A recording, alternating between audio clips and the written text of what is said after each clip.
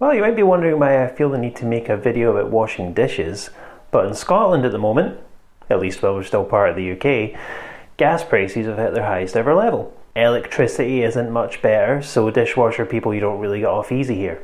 So this led to me asking myself a lot of questions and can I wash dishes in cold water to save money? Has any research been done into the matter? Can a video be made out of it? Is there any information out there just now? There was lots of little bits of information, but this video is an amalgamation of everything that I had to read and study when I was looking at it.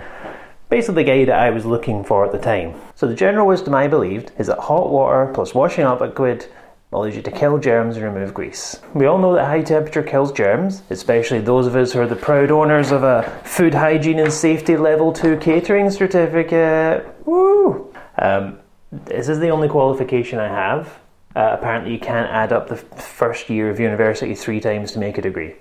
So, let me have this. There is my baby. So, the first piece of research I found was from the BBC on their show Trust Me, I'm a Doctor.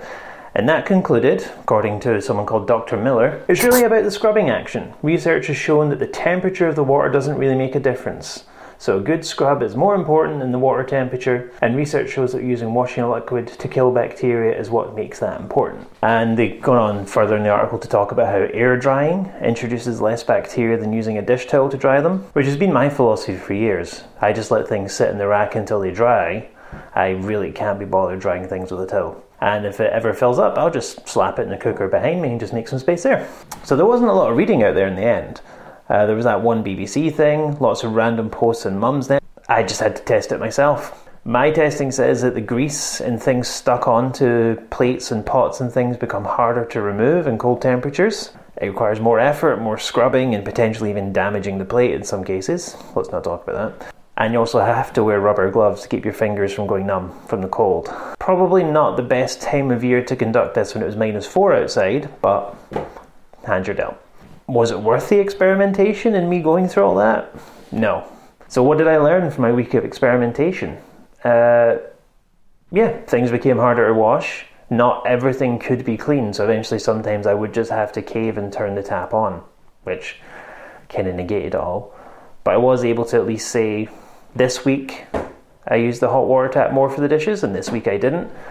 How much did I save? Pennies like literal pennies. It wasn't worth it.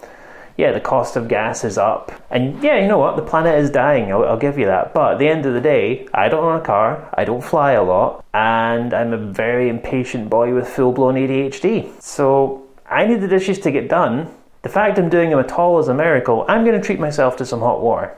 So does that mean you should just go at it with wild abandon and turn the hot tap up all the time? No, at least try and be efficient with it is what I learned. You know, make the whole process as efficient as possible. You can take a couple of steps inside your house just now, like go and have a look at your boiler and see what temperature the hot water is set at. Mine is set quite low because it still comes out quite hot even at that level. And there'd be no point in you say having the boiler turned up so hot that you then have to add some cold water in to make it safe for you to touch without risk of scalding yourself. That's the easy thing to do. So, use an efficient boiler, don't overuse the tap. At the end of the day, I'd much rather you did that, keeping everything efficient, than trying to use the cold water because it just doesn't work as well at the end of the day. You can feel high and mighty about it, but that doesn't mean you're right. The main thing I can say is I tried it, so you don't have to. This was not a good experiment. I did not like using the cold water to wash the dishes. It took twice as long and then you can get into some kind of argument over what's the most precious resource here. Having to run the cold tap near enough consistently to try and keep the water clean just to try and get the stuff sorted. Whereas if I use the hot water, I use less water. Granted, I live in Scotland and that's not an issue, but if you live in somewhere with a water meter, that's something to consider. Now, if you excuse me, I need to figure out how to make a video about cock-a-leekie soup that the YouTube Autobot's taking me down. Haven't figured it out yet, may need to change the name in that one, but I'll see you next time with an actual recipe, hopefully. Bye bye.